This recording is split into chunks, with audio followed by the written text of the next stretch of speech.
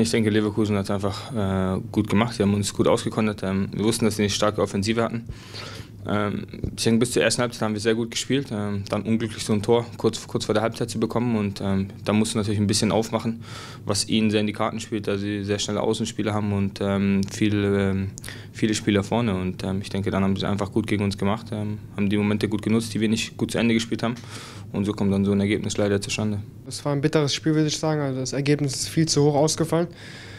Ja, wir waren kurz dran nach, dem, äh, nach der Halbzeit und ja, hätten das, äh, den Ausgleich machen können. Und ja, Leverkusen ist eine starke Mannschaft, das wussten wir schon von vornherein. Also sie hatten, finde ich, die ersten 55 sicherlich nicht mehr vom Spiel, aber hatten halt eine Qualität. Es waren zwei Abschlüsse, die waren beide drin.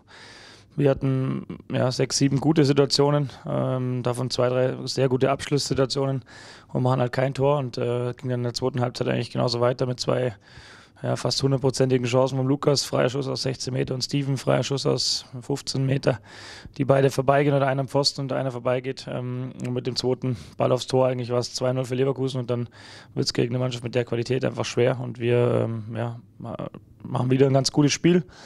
Aber äh, müssen wir auch anfangen, uns davon einfach ein bisschen zu verabschieden. Es interessiert nicht in der Bundesliga, ob du gut spielst oder nicht.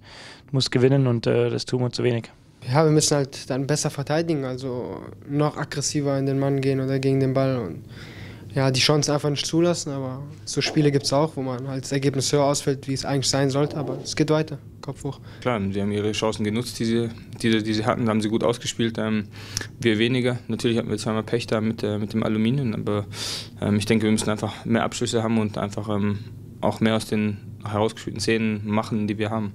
Wir haben auch jetzt in der Vergangenheit auch gezeigt, dass wir gegen Bayern mithalten können und ja, also wir fahren dahin und wollen das Beste rausholen.